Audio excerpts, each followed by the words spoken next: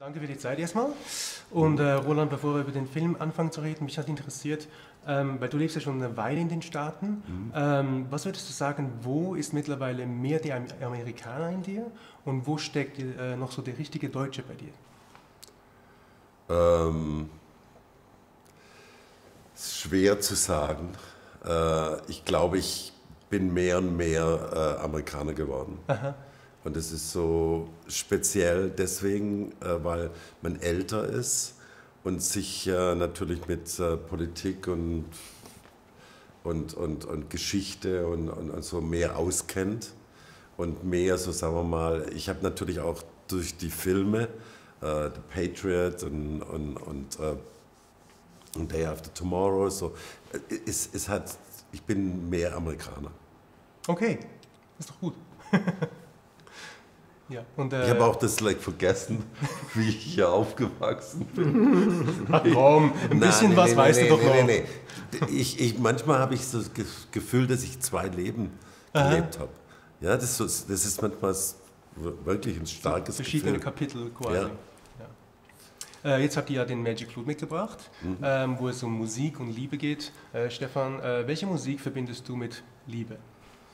Oh je, bei mir ist es im Leben, ich bin sehr oft konfrontiert, auch sehr, sehr lange Zeit mit klassischer Musik. Deswegen ist natürlich klassische Musik auch ein sehr, sehr großes äh, Medium, um einfach, ich meine, es geht in Oper immer um diese Dreierkonstellation. Die Liebe zwischen zwei und plötzlich kommt jemand Drittes, der sagt, ich will da was, was du hast. So.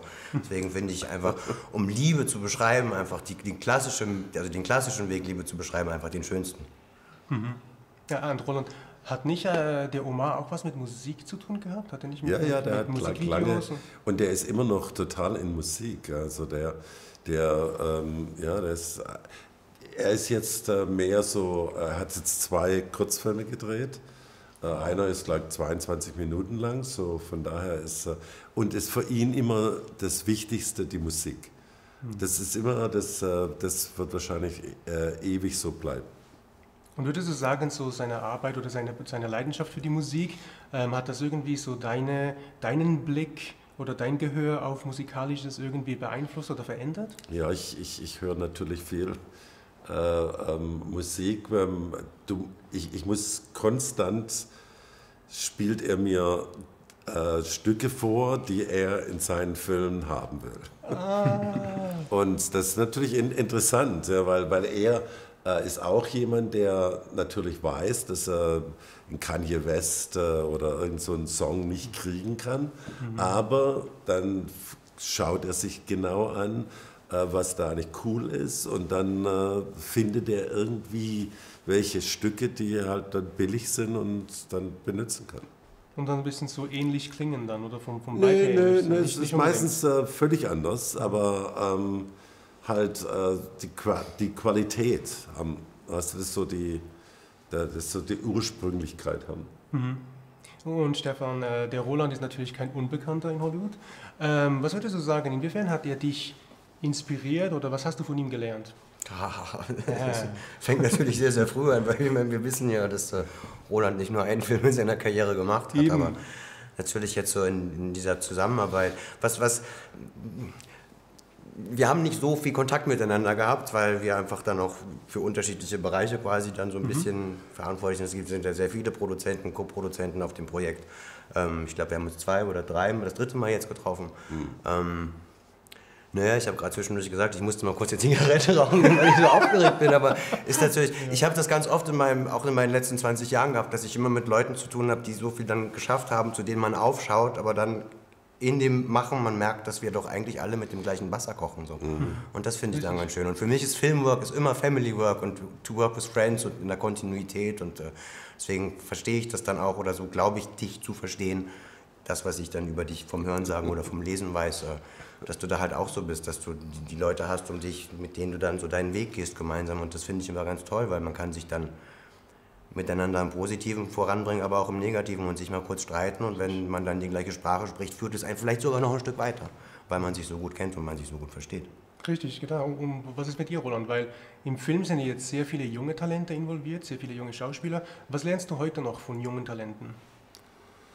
Äh, ich bin immer von äh, Schauspielern eigentlich, äh, äh, ich habe richtig Hochachtung vor denen. Also äh, äh, ob die jetzt älter sind oder jünger sind. Äh, zum Beispiel äh, ähm, der Film würde nie funktionieren, wenn wir nicht Jack Wolf haben.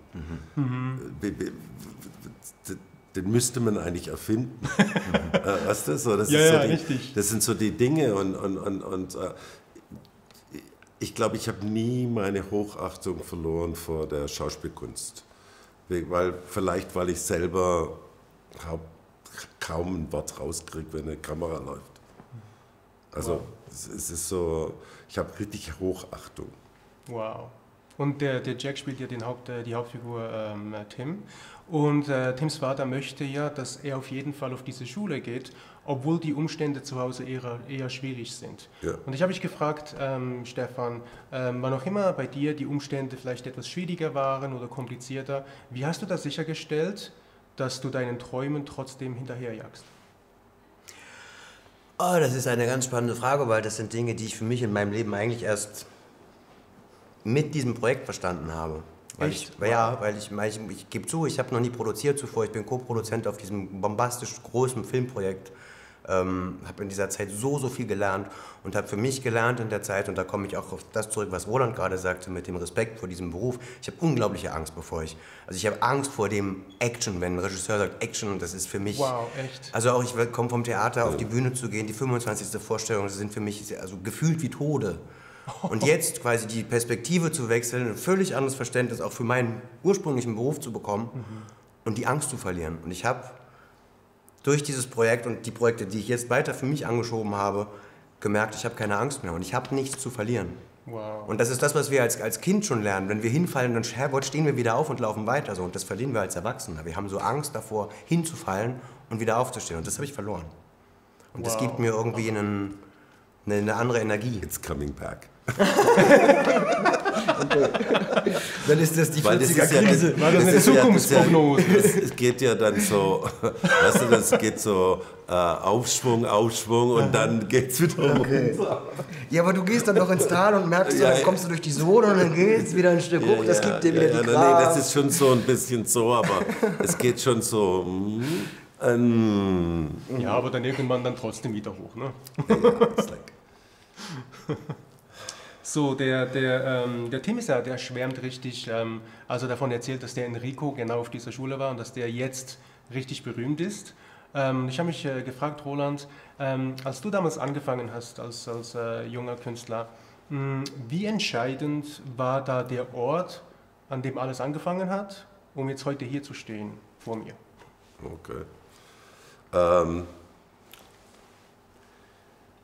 äh, ich, ich muss sagen, äh, ich habe damals, äh, soweit ich mich erinnere, ich habe eigentlich Architektur studieren wollen. Mhm. Äh, das war mir aber alles zu lange und zu kompliziert. Und habe dann erfahren, dass es eine Filmschule Schule gibt und bin dann auf die Filmschule gegangen, habe aber dann ganz ehrlich gesagt, ich will Ausstatter werden.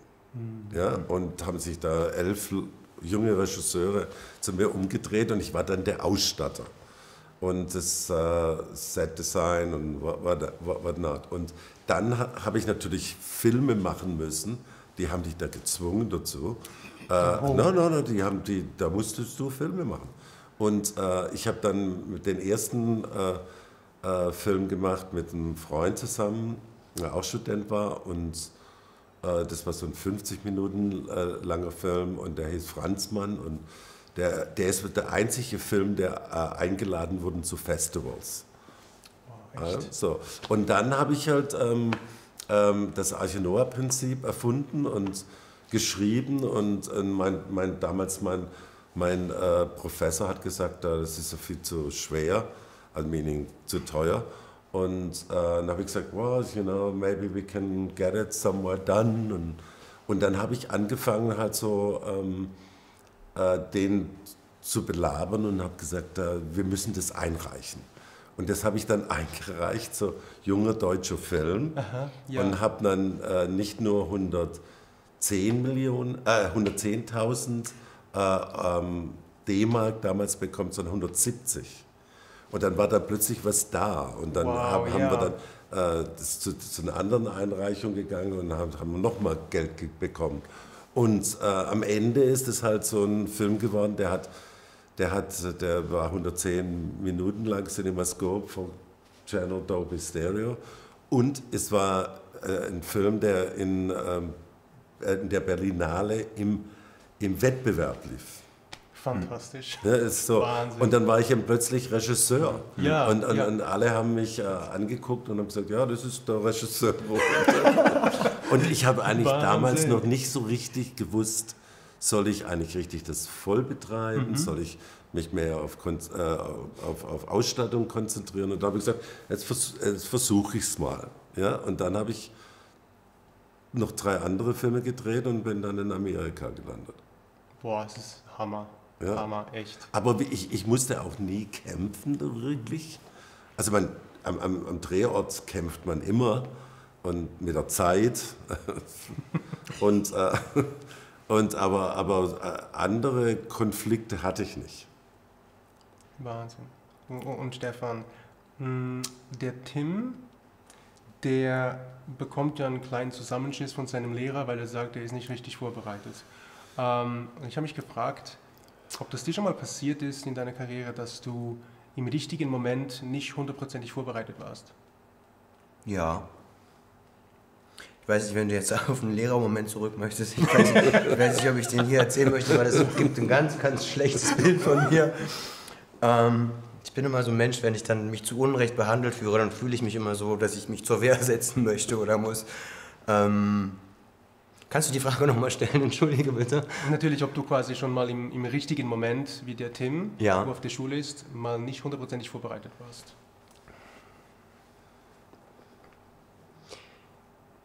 Ja, das ist. Das ist eigentlich so etwas, was ich oft aus meinem Leben kenne. Ich gehe dann bis zu einem gewissen Punkt vor und merke dann, ich habe da quasi ein Package. Und dieses letzte Stückchen Unsicherheit behalte ich mir gerne bei, weil ich das Gefühl habe, ich bin dann lebendiger und aktiver und reaktiver. Und deswegen kenne ich das, was ich doch sehr oft kenne und was mir vielleicht mein Leben manchmal erschwert, wenn ich dieses Schema mal durchbrechen würde, aber irgendwie brauche ich das in meinem Leben.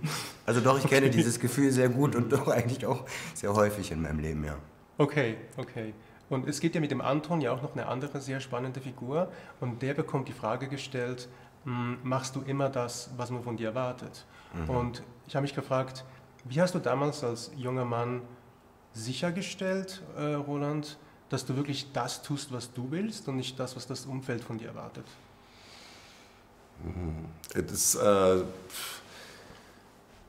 ich habe äh, im Prinzip, äh, mein Vater hat es äh, unterstützt, aber der hat immer gesagt, äh, einen äh, Künstler kann ich mir leisten. Äh, Weil der ist ein relativ erfolgreicher Businessman und, äh, und der hat immer so gesagt, ja, einen Künstler kann ich mir. Und das hat mich aber, aber, irgendwie angestachelt, dass ich so sag, gesagt habe, hey, it's like a, a, da, es, hat, es hat mich ja beflügelt, sagen wir mal so.